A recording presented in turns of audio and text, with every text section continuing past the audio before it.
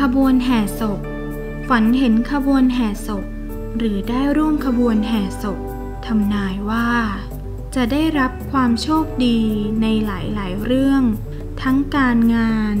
การค้าขาย ความรักสมหวัง รวมถึงการเรียนประสบผลสำเร็จ ถ้าบุคคลใด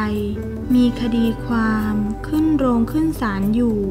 ก็มีเกณฑ์ชนะคดีความ เลขน่าสนใจ 0 4 1 0 4